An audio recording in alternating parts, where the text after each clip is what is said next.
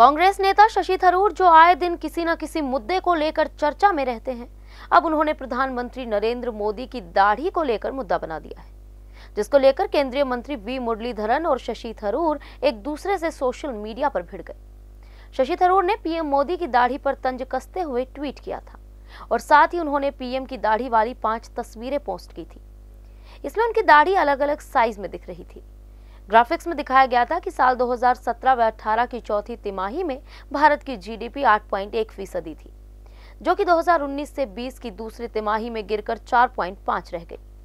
इस ट्वीट के साथ ही उन्होंने लिखा कि इसे कहते हैं ग्राफिक्स इलेस्ट्रेशन के मायने। उनके इस ट्वीट के जवाब में केंद्रीय मंत्री वी मुरलीधरन ने शशि थरूर की आलोचना की है। इस पर थरूर ने जवाब दिया कि संघियों में हास्य बोध न होना एक पुरानी समस्या है।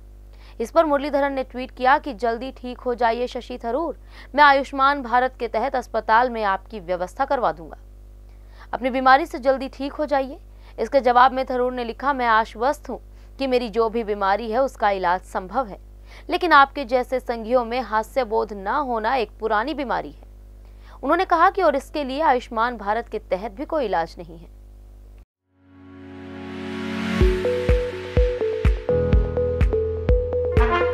ब्रेकिंग न्यूज़, रास बसेरा आपके लिए लेकर आए हैं खास मौका। वो भी हरियाणा सरकार की अफोर्डेबल हाउसिंग योजना के साथ, जिसके तहत आपको मिलेगी छह लाख रुपए तक की सुविधाओं के रूप में सब्सिडी जैसे कि free parking EDC IDC free club charges free और मेंटेनेंस फ्री और कोई हिडन चार्जेस भी नहीं। तो आज ही बिना देर किए अपने सपनों का घर बुक